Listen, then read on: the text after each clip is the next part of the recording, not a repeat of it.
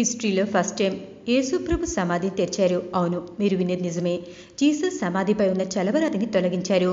క్రీస్తుని సమాధి చేసిన తర్వాత క్రీస్తు శకం పదిహేను వందల యాభై ఐదులో మాత్రమే ఈ సమాధిని తెరిచారు. అప్పటి నుంచి పవిత్రమైన పాలరాతిని ఎప్పుడూ కదిలించలేదు. అయితే తాజాగా చర్చిని పునరుద్ధరించే భారీ ప్రాజెక్ట్ పనుల్లో భాగంగా పరిశోధకులు తొలిసారిగా దీన్ని తెరిచారు. ఈ సందర్భంగా ప్రముఖ ఆర్కాజిస్టులు సమాధిలోని వస్తువుని చూసి ఆశ్చర్యపోయారట. క్రీస్తును సమాధి చేసిన ఈ ప్రాంతంలో పెద్ద చర్చిని నిర్మించగా దాని మధ్యలో సమాధి చుట్టూ ఎడిక్యూల్ అనే ఓ చిన్న నిర్మాణం ఉంది. ఈ అద్భుతమైన నిర్మాణంలో ఓసారి అగ్ని ప్రమాదం సంభవించడంతో పద్దెనిమిది వందల ఎనిమిది పది మధ్య పునరుద్ధరించారు. కానీ ఆ సమయంలో క్రీస్తు సమాధిపై ఉన్న పాలరాతిని మాత్రం కదిలించలేదు.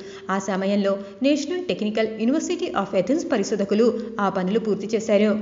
ప్రస్తుతం చర్చిని మరోసారి పునరుద్ధరించాలనుకుంటున్నారు. అందులో భాగంగానే సమాధిపై ఉన్న చలవరాతిని చర్చి మత పెద్దల సమక్షంలో అతి జాగ్రత్తగా పరిశోధకులు తొలగించారు. క్రీస్తు శకం పదిహేను వందల యాభై ఐదు నుంచి అత్యంత పవిత్రమైన ఈ చలవరాతిని ఎన్నడూ కదపలేదని చెప్పాను కదా. ఈ సందర్భంగా ప్రముఖ ఆర్కాలజిస్ట్ ఫెడ్రిక్ హైబర్డ్ మాట్లాడుతూ సమాధి పైభాగం ఉన్న చలవరాతిని తొలగించాం.